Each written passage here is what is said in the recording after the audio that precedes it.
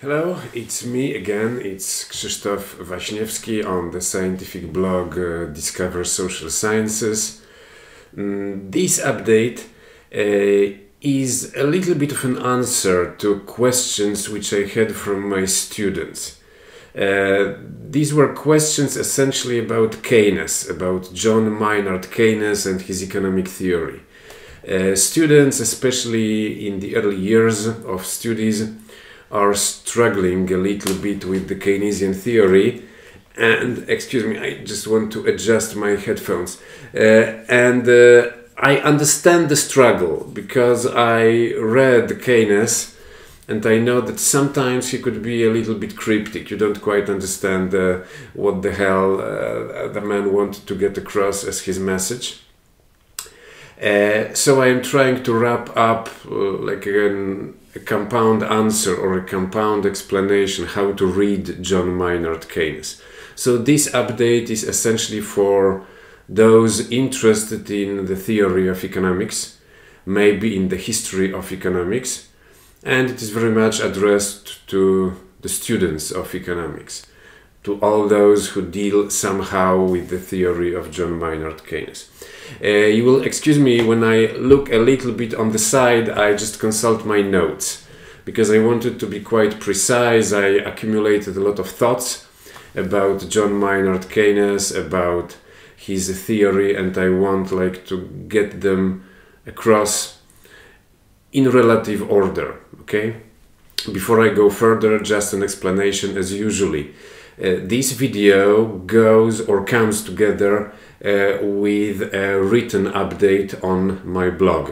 So you can see the title under the video and below the title in the description box you can see a link. If you click on the link, on the link discoversocialsciences.com, you go to the website of my blog and on the website of my blog you can find a written update, the body text of which bears the same title as this video and where you can find sort of more structured exposition of the same topic I am sort of outlining in this video.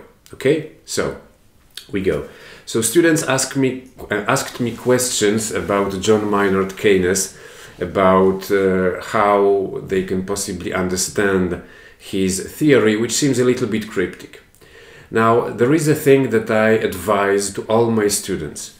Whenever you read a piece of theory, whenever you read a book, keep in mind that whatever kind of story whoever is telling you, so whatever kind of story a scientist tells you in a book or in an article, at the end of the day, they are telling you their own story, the story of their own existence if you want to understand what the hell the given person wants to tell you, what do they mean, try to understand the context uh, in which their theory was coined up.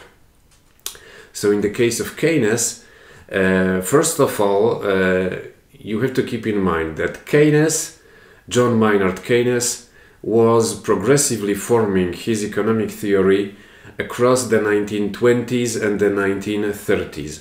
The 1920s were a decade where people essentially were running forward. It was the 1920s in the recent history of the Western world are almost proverbially cited as a period of exuberance of uh, excessive behavior, of excessive pursuit of wealth and pleasure. And it is normal because the 1920s came right after World War I and the, the epidemic of Spanish flu, which took place in 1918. Sounds familiar, no?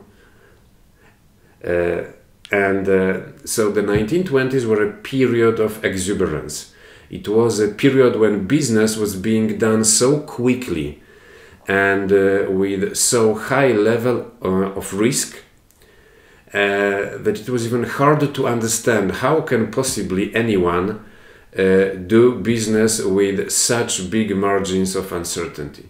And then came the 1930s, then came the Great Depression of the 1930s, uh, then came uh, the emergence of the Nazi regime in Germany.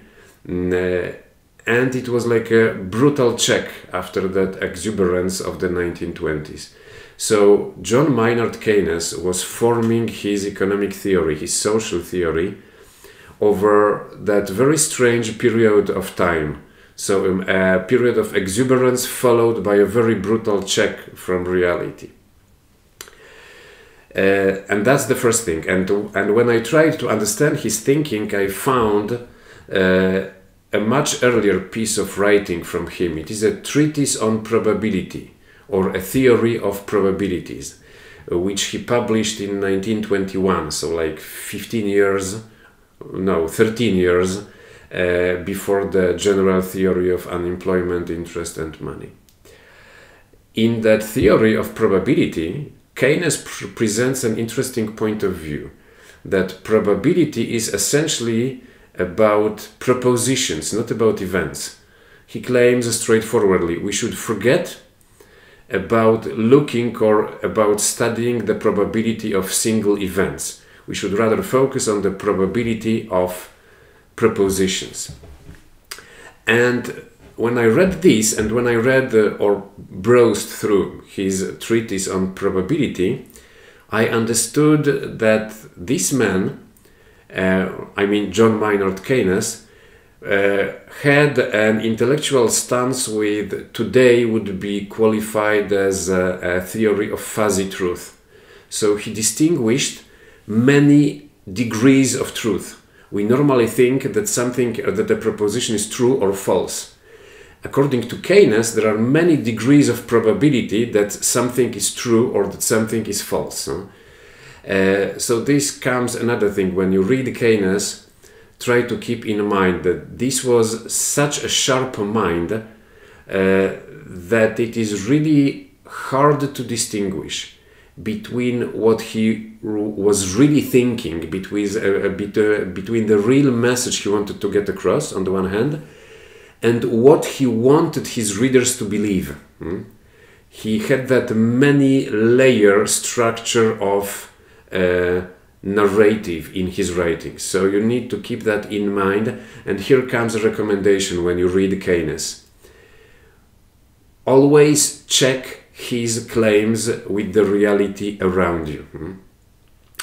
Because when you read especially the economic theory of Keynes, you can come, uh, come by those elegant claims which sort of put order in his model but which empirically are false. For example, he claims savings equal investment. In theory, in a closed economic system, yes, but when you just check the elementary economic statistics, you will find out that it is false. In the same manner, he claims that investment equals amortization of fixed assets. Not really, once again, check the facts. Uh, so when you read Keynes, try to remember he was trying to put some order in his own perception of like 15 years and those uh, of 15 years of history which from his point of view and from the point of view of any uh, person who who lived then uh, those 15 years were essentially chaotic, were extremely turbulent. What we are living right now with the COVID 19 pandemic is just like a faint glimpse, like a faint reflection of what those people back then in the 1920s and the 1930s were going through. Maybe we will go through something similar. I, I don't know, huh?